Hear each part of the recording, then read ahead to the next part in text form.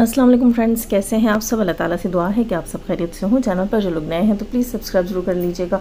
और मेरे सब्सक्राइबर्स का हमेशा की तरह बहुत बहुत बहुत ज़्यादा शुक्रिया। और जो लोग लाइक करते हैं मेरा रिएक्शन सुनने से पहले, उनका तो स्पेशली थैंक्स रिएक्शन सुनने के बाद वाले लाइक का भी थैंक्स लेकिन वहाँ ज़्यादातर लोग लाइक करना भूल जाते हैं। खैर दोस्तों, बताइएगा आप लोग, आप रिएक्शन सुनने से पहले लाइक करते हैं या बाद में लाइक करते हैं? एंड में जाकर या स्टार्ट में ही लाइक कर देते हैं। अलग अलग से आज अगर आप मुझे कमेंट सेक्शन में बताएँगे तो मुझे बहुत खुशी होगी। और जो लाइक नहीं करके जाते, वो भी बता दीजिएगा कि वो क्यों लाइक नहीं करके जाते। जानकर मुझे खुशी होगी। खैर दोस्तों तो आज जो है, ये नई कंट्रोवर्सी जो स्टार्ट हुई है, जो कि मेरे ख्याल से तो उस मोहतरमा ने खुद स्टार्ट करवाई है, जिसकी न्यूड पिक्चर से रिलेटेड आज बात हो रही थी। और जो स्टोरी मैं जानती थी, बल्कि वो रियल स्टोरी क्योंकि उसमें तो फिर इस बंदी की अपनी चैट भी थी और वॉइस भी हैं इस बंदी की। और जो स्टोरी उनको इसने बताई, खैर, दोनों स्टोरियाँ इसने खुद ही बताई हैं और दोनों को मैनिपुलेट भी इसने खुद किया है। क्यों किया है, ये भी नहीं पता, लेकिन दोस्तों, उस पर भी बात करते हैं। उससे पहले मैं ये बात करती हूँ यहाँ पर कि नानी जो है, नानी के ऊपर इल्ज़ाम लगा था, नानी के ऊपर इसने यहाँ जो इंसाइडर भाई को बात बताई थी प्रोफेसर आज़म सागर को जो बात बताई थी। इसने उस उस चैट में ये कहा था कि मुझे नानी प्रेशराइज़ कर रही है। जब उन्होंने कहा ना, वो काफ़ी दिन से इनसे कहते रहे। बात उन्होंने पहले भी एक बार कही थी कि मैं बहुत इस चीज़ के ऊपर इंसिस्ट करता रहा हूँ इस बंदी को कि तुम जो है वो सितारा के ख़िलाफ़ वीडियो ख़ुद क्यों नहीं बना रही? अच्छा अब जब इन्होंने ये चीज़ एक्सपोज की, यहाँ पर आकर रिवील की है कि आखिर वो बात, ये तो इसकी न्यूड पिक्स वाली चीज़ तो इन्होंने एक्सपोज कर दी ना, ठीक पब्लिक में। वो वो चीज़ें, वो बातें जो उस वक्त इसको इंसिस्ट कर रहे थे सितारा के ख़िलाफ़ वीडियो बनाने के लिए कि तुम हमसे तो हमें तो डेटा ला कर देती हो, लेकिन तुम खुद उस पर बात नहीं करती हो। तो वो सब इन्होंने अब रिवील किया है, ठीक है? कम्प्लीटली रिवील किया। तो ये कहते हैं कि वो कह रही थी उस वक्त कि भाई मैं नानी की मजबूर हूँ, मुझे नानी ब्लैकमेल कर रही है कि तुम्हारी जो न्यूड पिक्चर्स हैं वो हम वायरल कर देंगे। अच्छा यहाँ बहुत बड़ा जो है वो सच मिलता है। इसी सवाल के अंदर, इसी चीज़ के अंदर बहुत बड़ा सच मिलता है। जो इसने नानी के ऊपर बहुत बड़ा मैं कहूँगी झूठा इल्ज़ाम लगाया, वो क्यों दोस्तों? देखें, आप सबको पता है कि ये पूरी कंट्रोवर्सी तकरीबन सवा डेढ़ साल होने वाला है, क्योंकि पिछले रमज़ान के बाद स्टार्ट हो गई थी और अब तो रमज़ान से आगे का टाइम है। खैर हेटर्स ने तो रमज़ान में स्टार्ट कर दी थी। तो इस पूरी कंट्रोवर्सी के अंदर, इस बंदी ने, जिसकी आज न्यूज़ पिक्स के ऊपर बात हो रही है, आप सब जानते हैं मैं किसकी बात कर रही हूँ, इस बंदी ने सिंगल टाइम भी आकर ये नहीं कहा कि जो है वो सितारा ठीक है। सितारा सही थी, सितारा के ऊपर मैंने झूठा इल्ज़ाम लगाया था। यानी कि नानी ने जो डिमांड की थी, वो इसने पूरी नहीं की। हालाँकि ये इंसाइडर भाई को कहती है कि नानी ने मुझे ब्लैकमेल किया है कि अगर तुम मेरी ये डिमांड पूरी नहीं करोगी, सितारा के हक में वीडियो नहीं बनाओगी तो तुम्हारी पिक्चर्स वायरल कर देंगे। और इसने तो सितारा के हक में वीडियो नहीं बनाई। तो फिर नानी ने वो पिक्चर्स वायरल क्यों नहीं की?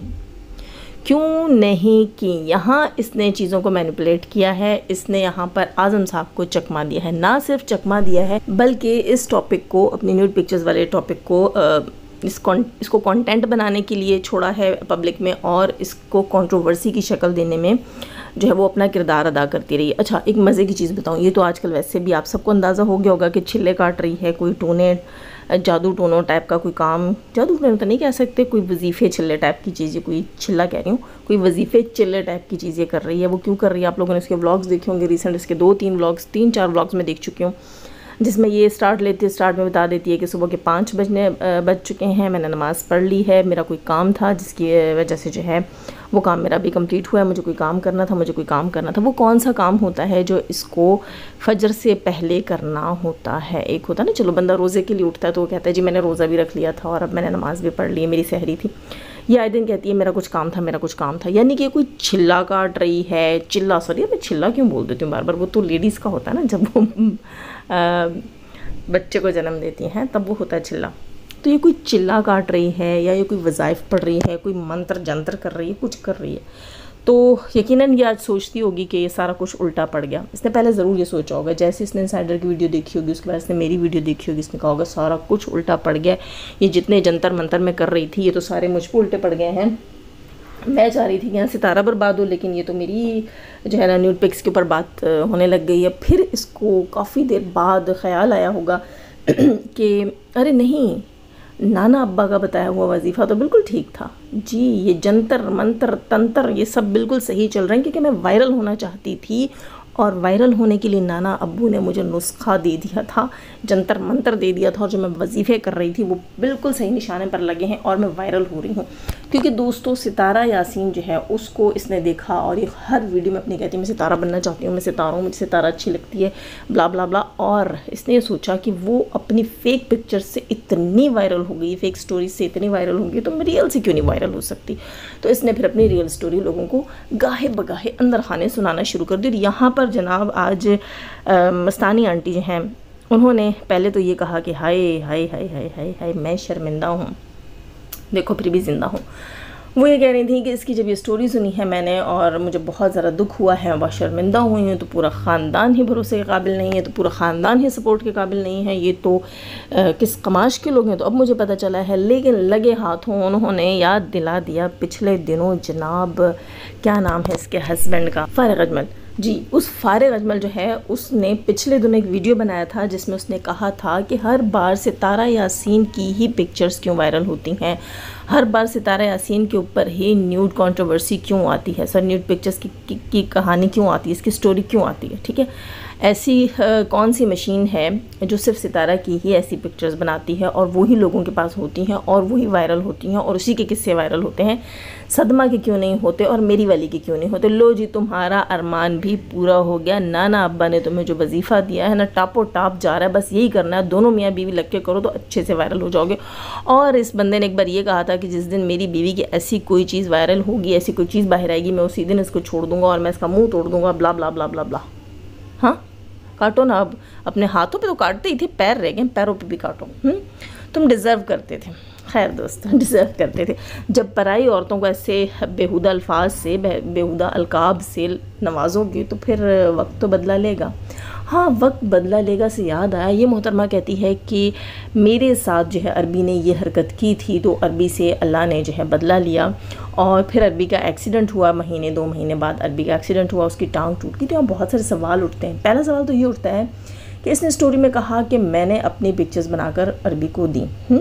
अरबी के कहने पर मैंने बनाकर दी फिर ये कहती है कि अरबी को सज़ा मिली तो तुम्हें क्यों नहीं मिली हुँ? हम्म? गंदा काम तो तुमने साथ मिलकर किया ना, फिर तुम्हें क्यों नहीं मिली और दूसरी चीज़, अगर इतने बड़े गंदे काम का इतनी छोटी सी सज़ा होती है तो फिर ये बताओ कि जो सदमाबाजी है, उसकी जो टांग टूटी तो वो किस जुर्म की सज़ा थी वो भी कभी बता दो ना, वो किस्सा भी बताओ, भाई, वो क्यों हुआ हुँ? दूसरों के किस्से तो तुम्हें पता है भाई, तुम्हारा बदला अल्लाह ने फलां से ले लिया, तुम्हारा बदला अल्लाह ने फलां से ले लिया तो ये भी बताओ कि सदमा बाजी से अल्लाह ने किसका बदला लिया? जनाब, ये बात भी बाहर आनी चाहिए। दूसरी चीज़ दोस्तों, ये जो दोनों स्टोरीज़ मैंने लगाई हैं। खैर, दोनों मैंने नहीं लगाई, एक जो प्रोफेसर साहब की स्टोरी थी, जो उनको इसने सुनाई कि जो है अरबी के कहने पर इसने तस्वीर बना कर दी कि भाई तुम्हारे भाई से वो है, कर्ज़ के पैसे वापस लेने हैं तो वो देगा नहीं तो मैं ब्लैकमेल करूँगा। इसने अपने ही भाई को ब्लैकमेल करने के लिए पोंगी होकर तस्वीर बनवा दी और जो स्टोरी इसने दूसरी औरत को सुनाई थी, वो भी मुझ तक पहुँची। तो वो स्टोरी ये थी कि भाई इसने कहा है कि आयशा ने मेरे नहाते हुए पिक्चर्स बनाई। अच्छा इन दोनों स्टोरीज़ के अंदर अगर आप बहुत ज़्यादा इसको गौर से सुने और इस पर रिसर्च करें तो आपको ये पता चल जाएगा कि दोनों स्टोरीज़ में अरबी को बड़ी बारीकी से बचा रही है। यू नॉटी गर्ल इसके पीछे क्या रीज़न है, क्या लॉजिक है, क्या रियलिटी है, वो भी तो पब्लिक को बताओ ना। कि एक स्टोरी में ये कहती है कि मैंने बना कर दी उसके मांगने पर, दूसरी पर कहती है उसकी बहन ने बना कर उसको दी। यानी और हाँ पहली स्टोरी में इसने ये भी बताया है कि वो पिक्चर्स जो हैं, वो असगर ने वायरल की। ये कहता है कि मैंने असगर को दी और असगर ने वायरल की तो असगर को गंदा ठहरा रही है। और जो स्टोरी इसने हमें मतलब हमारे तक पहुँची उस स्टोरी में ये आयशा को गंदा करी। मतलब दोनों स्टोरी में बड़ी बारीकी से असल भाई को रही खैर तो है हम्म, टांगा भी भिड़ा हुआ क्या? अरे हाय फारग अजमल तुम्हारा क्या बनेगा कालिया? वैसे दोस्तों ये चीज़ मुझे समझ भी नहीं आई है कि अगर असगर ने वायरल की तो असगर को दी तो इसी अरबी ने थी हुँ? तो अरबी कौन सा नेक इंसान था कि एक लड़की की न्यूड पिक बनवाता है और उसको ख़ुद भी देखता और भैया को भी दिखाता है? इतनी हया नहीं है कि भाई अगर गंदा काम कर रहे हैं तो कम से कम बाप और भाई के साथ तो मिलकर ना करो। इतनी शर्म, इतनी दीद लिहाज नहीं, भाई इनके अंदर कहीं शर्म, कहीं दीद लिहाज नहीं है। इनके यहाँ ये चलता है कि भाई भाई मिलकर एक लड़की की पोंगी तस्वीरें इकट्ठे बैठकर देखते हैं, एक दूसरे के साथ शेयर करते हैं और और भी बहुत कुछ चलता है इन लोगों के। हाँ वो मैं आपको कल बताऊँगी। लेकिन आगे जो मज़ीद अहम पॉइंट्स हैं, उस पर बात अभी जारी है। खैर, यहाँ पर एक अहम बात बात कहनी सॉरी अहम बात कि कल जो है मैं इस अरबी की वीडियो देख रही थी और इसके घर में जो शदीद बारिश की वजह से पानी घर के अंदर जा रहा था, उस दिन भी मैंने वीडियो देखी जहाँ सांप और बिच्छू इसके घर में कचरों में पड़े हुए थे। कहीं कचरा था, ये सफ़ाई करने लगे, वहाँ से सांप और बिच्छू निकले हैं। घर मतलब इसका अल्लाह माफ़ करे, अल्लाह माफ़ करे, ये काबिल रहम हालत थी इसकी। मुझे इतना तरस आ रहा था और मैं सोच रही थी कि मैं एक ऐसी वीडियो बनाऊँ जहाँ मैं ये बात करूँ सितारा यासीन की अम्मी को मुखातिब करके कि आप अपने बच्चों का सदका ही समझ कर जो है उस घर का कुछ हिस्सा इस बंदे को दें। आप अंकल से कहें कि भाई कुछ हिस्सा इस बंदे को दे दें। लेकिन जो अब ये स्टोरी मैंने सुनी है नीनू से रिलेटेड तो यकीन करें कि वो जो तर्स और हमदर्दी थी ना, वो भी कहीं दूर रह गया। छी छी सीरियसली इस बंदे से शदीद किस्म की घिन आ रही है, शदीद किस्म की घिन आ रही है। नफ़रत सी पैदा हो रही है। उसके अलावा एक और चीज़ यहाँ कहनी थी फ़ारग अजमल से कि फ़ारग अजमल तुम्हें मरियम फ़हद का यहाँ शुक्रिया अदा करना चाहिए। भले से तुम अपने पैरों पैरों रही हाथों को मुँह में डाल के काटो, खुद को, या अपने पैरों को चबा लो, कुछ भी कर लो, लेकिन यहाँ मरियम का थैंक्स बनता है। क्यों बनता है दोस्तों? कि ये स्टोरी मरियम फ़हद कब से कब से कब से कब से जानती थी और इस बंदे ने कैसे कैसे बकवासियात नहीं बोले वहाँ पर। मरियम फ़हद को, लेकिन वो बंदी, उसका मैं कहती हूँ टॉलरेंस लेवल चेक करो कि वो पलट कर उसने ये स्टोरी नहीं निकाली। यहाँ पर आप इंसाइडर भाई का जो है वो पेशेंस चेक करें, ठीक है? कि उनके साथ आई थिंक इतनी बड़ी गड़बड़ेशन नहीं हुई थी इस अरबी की कि उन्होंने लाकर चौक में इस बंदी को इसकी, इस न्यूड पिक्चर्स की स्टोरी को वायरल कर दिया। और अब पेशेंस देखिए, यहाँ पर टॉलरेंस लेवल चेक कीजिए इस मरियम फ़हद का। कि इसको मुँह के ऊपर कैसी कैसी गलाजतें और बकवासियात, बकीन दोनों मियाँ बीवी ने और उस बंदी का टॉलरेंस लेवल चेक करो यार। मैं कहती हूँ, मरियम, छा गई हो, छा गई हो। पहले तो तुम मरियम को ये कहकर ट्रॉल कर रहे थे ना कि मुझे क्यों निकाला, मुझे क्यों निकाला? हालाँकि उसकी रियलिटी ये थी कि उस जॉब को उसके हस्बैंड ने खुद छोड़ा था। कोई माई का लाल वहाँ से किसी को निकाल नहीं सकता, जब तक अल्लाह ना चाहे। तो वहाँ किसी ने उसको निकाला नहीं था, इसने, इसके हस्बैंड ने खुद रिज़ाइन दिया था। और तुम लोग ये खुश हो रहे थे कि तुमने निकलवाया और वो निकल गया। यहाँ पर ये अब कहना कि मुझे क्यों बताया, मुझे क्यों बताया? ये बात हम सुनना चाहते हैं तुम्हारे मुँह से, ठीक है? कि मुझे क्यों बताया, मुझे क्यों बताया? क्योंकि तुमने तो कहा था कि तुम्हारी बीवी तो बड़ी नेक है, पाक है, पवित्र है। तो अब कोई जवाब है तुम्हारे पास? खैर, भाड़ में जाओ तुम और भाड़ में जाए तुम्हारा जवाब। तुम अपना जो है मैं कहती हूँ कि अपनी रिस्पेक्ट तुम भी अरबी भी और ये सब खो चुके हैं। बिल्कुल। अब तो हेटर्स जो वो एक ही अरमानी आंटी बची थी ना मस्तानी आंटी एक आखिरी थी ये सदमा बाजी की सपोर्टर बाकी तो एक है जो न्यूट्रल हैं ठीक है? और और तो कोई है ही नहीं। और जो न्यूट्रल है उन, उन पर भी हँसी आती है मुझे कि जब स्टार्ट के दिन थे तीन दिन मैंने ये कहकर रिएक्शन बनाया था कि मैं न्यूट्रल हूँ दो तीन दिन तक। बोला भी था मैं दो तीन दिन तक न्यूट्रल हूँ। दो तीन दिन में अगर मुझे कोई आंसर नहीं मिला तो मैं एक साइड जो है वो डिक्लेयर कर दूँगी कि मैं किस साइड के ऊपर हूँ। ठीक है? मुझे जो सही लगेगा, मैं वो पार्टी ज्वाइन कर लूँगी। अच्छा ये बंदी जो है, ये उस वक्त हंस रही थी और उसने क्या कहा था? न्यूट्रल तो जानवर होते हैं न्यूट्रल तो जानवर होते हैं और आज ये कहती हैं कि हम न्यूट्रल हैं। अच्छा ये जो है मस्तानी आंटी, ये बेचारी दम तोड़ रही थी आखिर मतलब इसकी सपोर्ट में सदमा की सपोर्ट जो है इनके दिल में वो दम तोड़ रही थी। आज इन्होंने ये भी कह दिया अभी किसी की सपोर्टर नहीं है भाई। ये भी अब जो है न्यूट्रल हो गई हैं, किसी की सपोर्टर नहीं है। हालाँकि मैंने कहा था लोगों से कि न्यूट्रल भी जो है वो एक फ़ेज़ होता है। वो कोई जो है वो, ये नहीं होता कि वो स्पीशी है, वो क्या चीज़ है कि आप बताओ कि वो एनिमल है ह्यूमन है, वो क्या है, ठीक है? वो एक फ़ेज़ है, एक फीलिंग है और इससे ज़्यादा मैं क्या बताऊँ कि न्यूट्रल क्या होता है? खैर, अब वो खुद ही लोग हो गए।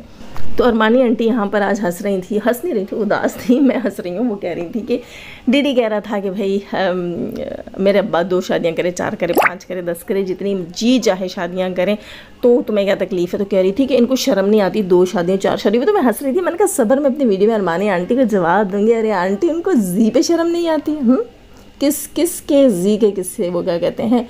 कि यहाँ कितने डाकू आए। अब जो, नहीं क्या कहते हैं कि हाँ वो एक नारा लगता होता ना हर घर से भुट्टो निकलेगा तुम कितने भुट्टो मारे मारोगे ऐसा कुछ नारे हम सुना करते थे कैसे कोई नारे होते हैं। तो अब आप मुझे बताएँ कि पत्थर उठाओ तो जानी निकलेंगे अल्लाह माफ़ करे हर घर से जी जी निकलेगा तुम कितने जीक हो यहाँ पर चौक में खड़ा करके सवाल करोगे। तो आपको तो हैबिचुअल हो जाना चाहिए। हम्म, आप तो इन लोग एक्सपोज करने के लिए आती हैं ना। तो दिल का दौरा क्यों पड़ गया? दिल को थामिए और अब अपनी चहीतियों को भी एक्सपोज कीजिए। खैर दोस्तों लाइक कीजिएगा नहीं है तो सब्सक्राइब कीजिएगा। जाने से पहले हमेशा की तरह दुआ।